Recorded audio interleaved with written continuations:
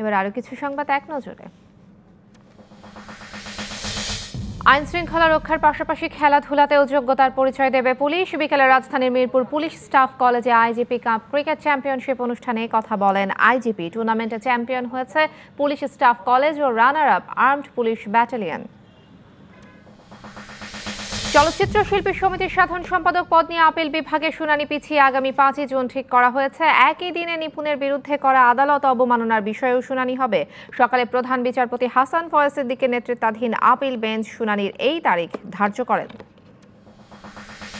চট্টগ্রাম বিশ্ববিদ্যালয়ের দু হাজার বিশ একুশ শিক্ষাবর্ষের ভর্তি পরীক্ষায় তিন অন্ধ শিক্ষার্থীকে দৃষ্টি প্রতিবন্ধী হিসেবে স্বীকৃতি না দেওয়ার অভিযোগে এবং ভর্তি নিয়ে হয়রানির প্রতিবাদে মানববন্ধন হয়েছে। দুপুরে বিশ্ববিদ্যালয়ের শহীদ মিনার প্রাঙ্গণে মানববন্ধনে অংশ নেন শিক্ষার্থীরা।